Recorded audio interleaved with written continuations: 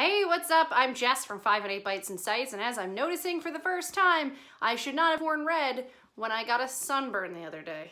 Ginger problems. Today we're going to be talking about Bake For You.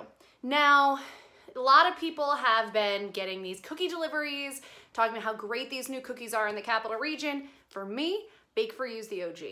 I have loved Bake For You since she was working in a church basement and I'm so excited to see how far she's grown and then I can still get some. The way it works is she puts a menu up online of what is available and you pick from that. So it just so happened the week that I ordered Girl's Best Friend was a cookie option. Chocolate, pretzels, potato chips, all right? That's, what else is a girl's best friend? There's a certain time where you're gonna want this. Girls, you know what's up. This is so good. I've had it a ton of times because they're delicious, but who doesn't love sweet and salty put together? I don't know anyone who doesn't. Oh my god, finish the bite, right?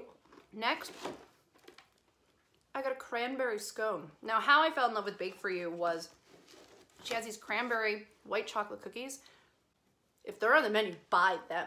No thinking about it, ifs, ands, buts, buy them. So I figured if she knows her way around some cranberry, might as well get a scone. I picked some up for my mom, stole one. Scone. I love scones. Makes me drink tea more often, which I should. So for me, Bake For You was the OG cookie. Still is. Love her. I'm just gonna keep eating them. While you're looking around for new cookies to get, take a look at Bake For You's menu. You will not be disappointed. Promise. I was never a Girl Scout. the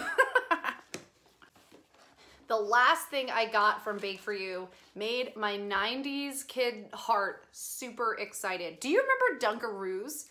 Okay, Dunkaroos were an amazing invention where you just put give kids sugar on sugar. No problems there, right? You get cookies, you get frosting, and then you dunk them.